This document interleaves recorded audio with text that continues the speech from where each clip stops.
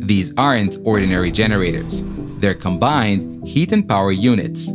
Instead of letting the valuable heat produced by the engine escape into the atmosphere, the system recovers it in two ways. First, the hot engine coolant exiting the engine flows through a heat exchanger. Inside, the coolant passes through a series of small tubes before exiting at the other end of the heat exchanger. In a separate circuit, cold water circulates around these tubes, guided by internal baffles to absorb as much heat as possible from the coolant. Then, the heated water flows through a second heat exchanger, where the engine's hot exhaust gases pass through before exiting the station. The same principle applies. Heat transfers from the gases flowing inside the tubes to the water circulating around them, heating it even further.